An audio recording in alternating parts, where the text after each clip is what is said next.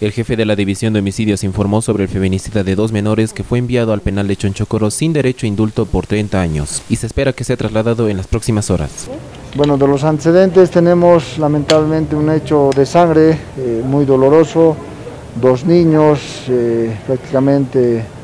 que les habían quitado la vida por arma blanca a raíz de una, en primera instancia, un hecho de celotipia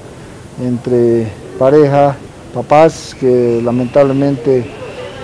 la primera versión era de la dama que supuestamente no le dejaba estudiar, continuó con sus estudios, como cargo descargo utilizaba el varón manifestando de que le había encontrado con otra persona y con lo cual conlleva a un desenlace fatal donde tenemos eh, el haber victimado a sus propios hijos por parte de este señor. Al momento ya se ha realizado la audiencia de medidas cautelares, lo cual ha dispuesto juzgado la detención preventiva en el penal, eh, bueno, prácticamente con sentencia ah, por el delito de infanticidio al penal de Chonchucuro.